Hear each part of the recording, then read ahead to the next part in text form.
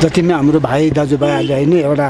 आफ्नो दार्जिलिङको आफ्नो मानिसहरूको मान्छेहरूको लागि है एउटा सुरक्षाको लागि तपाईँहरू जति पनि एउटा सेवा भन्ने गर्नुहुँदैछ है। त्यसमा हामी चाहिँ तपाईँ एकदमै धन्यवाद दिने हामी छौँ होइन। यो गर्नाले धेरै हामी आफू पनि बाँचिन सक्छौँ हाम्रो परिवार पनि बाँच्न सक्छौँ हाम्रो छरछिमेकी हाम्रो गाउँ है र हाम्रो सरसमाज पनि हामी बाँच्न सक्छौँ र हाम्रो देश नै हामी बचाउन सक्छौँ है। यसमा सबैले नै अब साथ दिनु पऱ्यो होइन सबैले नै साथ दिएर हामी एकले अर्काको बातलाई होइन मानेर आज्ञाकारिता गऱ्यो भने अवश्य नै यसको प्रतिफल चाहिँ हामीले पाउन सक्छौँ भन्ने विश्वास गर्छु। म प्रितम तामाङ कालिम्पोङ मोटर सेन्डिकेटबाट। विशेष गरी आज हाम्रो हिल तराई डुवर्स ट्रान्सपोर्ट युनियनको हाम्रो साथीहरू हाम्रो मेम्बरहरू उहाँहरूले आएर यसरी सेन्डिकेट सेन्डिकेट अनि यो स्ट्यान्डको मोटर स्ट्यान्डको परिसरमा उहाँहरूले आएर यसरी सेनिटाइजहरू गरिदिनु भयो सेनिटाइज गर्ने कामहरू गरिदिनु भयो र साथै हाम्रो चालक सदस्यहरूलाई मेम्बरहरूलाई उहाँले मास्कहरू पनि वितरण गरिदिनु भयो र साथै यो जुन चाहिँ अहिले सेकेन्ड वेभको यो जुन चाहिँ एउटा कोरोनाको एउटा महामारी फेरि एउटा विराट रूपमा फैलिरहेको छ यस विषयमा हाम्रो मेम्बरहरूलाई हाम्रो सिन्डिकेटको हाम्रो चालक दाजुभाइहरूलाई उहाँलाई एउटा जनचेतनाको उहाँहरूले पनि जनचेतनाको कार्यक्रम पनि उहाँहरूले गर्नुभयो। र विशेष हम, एउटा चालक भएर र साथै हामी एउटा सिन्डिकेटको एउटा उयो भएर हामी हिल तराई डुवर्स ट्रान्सपोर्ट युनियनको सम्पूर्ण मेम्बरहरू उहाँहरूलाई एकदमै हामी आन्तरिक हृदयबाट हामी धन्यवाद दिन चाहन्छौँ। र विशेष गरी अहिलेको यो महामारीमा जुन प्रकारले अहिले एउटा हाम्रो यो चालकहरूको निम्ति यो कोरोना सेकेन्ड वेभको कोरोना एकदमै चुनौतीपूर्वक भइरहेको छ र दिन दिनभरि यसले ठुलो विराट रूप लिइरहेको छ र कतिजना हाम्रो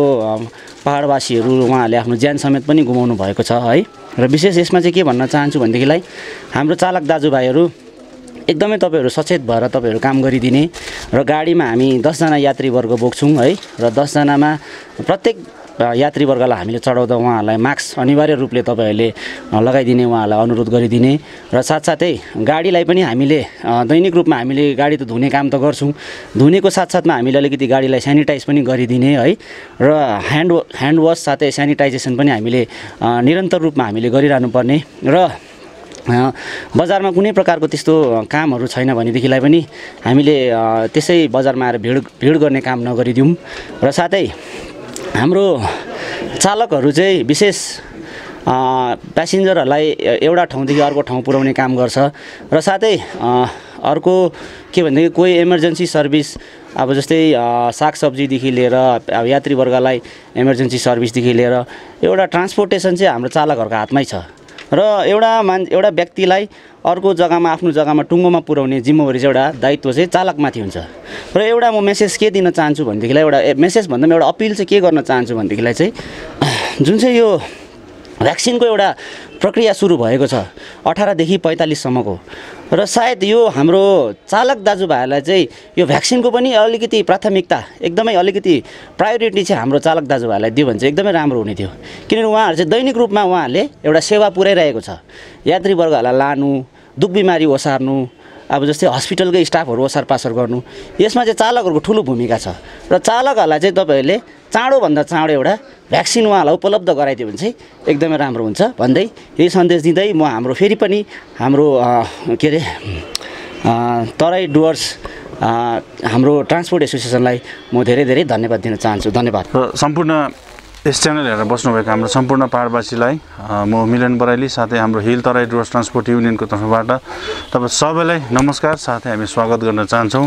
र विशेष गरेर अहिले घडीको यो कोरोनाको यो दोस्रो चरणमा यो दोस्रो चरणको चपेटमा हामी सबैजना परिरहेको छौँ है। र यही विषयलाई नै हामीले लिएर आज हामी हिल तराई डुवर्स ट्रान्सपोर्ट युनियनले बजारको वरिपरि परिसरको सेन्डिकेट अनि जति पनि हाम्रो चालक दाजुभाइहरूलाई मास्क वितरण सेनिटाइज वितरण र जति पनि हाम्रो सेन्डिकेटहरू छ सबै सेन्डिकेटलाई हामीले सेनिटाइज गरेको छौँ ताकि हाम्रो पाहाडवासी हामी सबैजना सुरक्षा सुरक्षित रहौँ भन्ने एउटा त्यो हेतुले हामीले काम गरेको छौँ र र यो सबै जति पनि यो मास्क सेनिटाइजरहरू भयो तपाईँको पिपी किटहरू यो जति पनि सबै हाम्रो गोर्खा जनमुक्ति मोर्चा अध्यक्ष विमल गुरुङज्यूले उपलब्ध गराइदिनु भएको हो र हामी सर्वप्रथम त हामी सम्पूर्ण चालकको तर्फबाट हाम्रो अध्यक्ष विमल गुरुङज्यूलाई हामी एकदमै आन्तरिक हृदयबाट हामी धन्यवाद दिन चाहन्छौँ किनभने यो अहिलेको यो कोभिड नाइन्टिनको महामारीमा एउटा जति पनि चालकहरू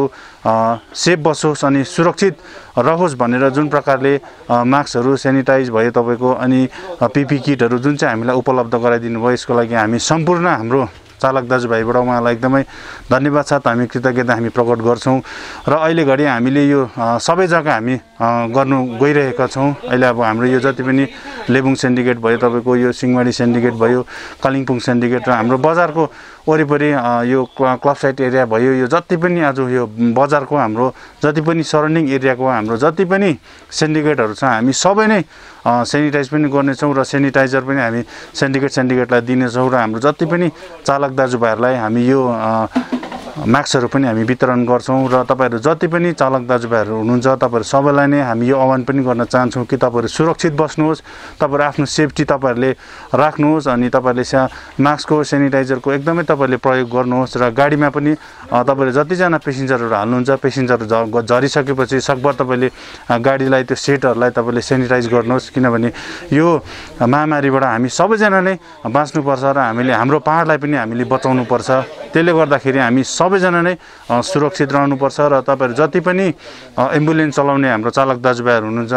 जति पनि गाउँबाट तपाईँहरूले बिमारीहरू ल्याउने तपाईँहरू जति पनि चालक हुनुहुन्छ तपाईँहरूमा यदि कसैकोमा पनि पिपी किटहरू छैन तपाईँहरूकोमा मास्कहरू छैन भने तपाईँहरूले सोझै नै हामीसँग तपाईँले आएर सम्पर्क गर्नुहोस्। र विशेष रूपमा म हाम्रो हिमाली च्यानललाई पनि धन्यवाद दिन्छौँ किनभने उहाँहरू पनि आएर यस्तो प्रकारले यो कोभिड नाइन्टिनको यो महामारीमा पनि उहाँहरूले आफ्नो